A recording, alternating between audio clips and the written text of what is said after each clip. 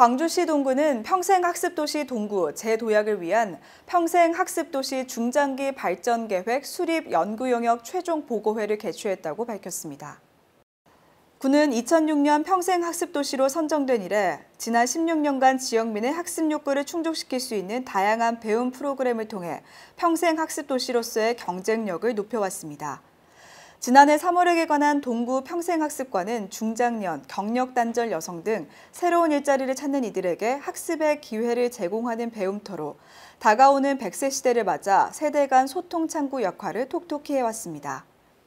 연구 용역은 인구 현황, 지리적 요건, 사회 경제적 특징 분석과 평생교육 프로그램 학습자, 강사, 지역민 500명을 대상으로 한 설문조사를 토대로 향후 비전과 전략 목표를 세워 이를 기반으로 2023년부터 2027년 중장기 발전 계획을 수립하고 내년도 평생학습도시 재지정 평가에 전략적으로 대비할 계획입니다.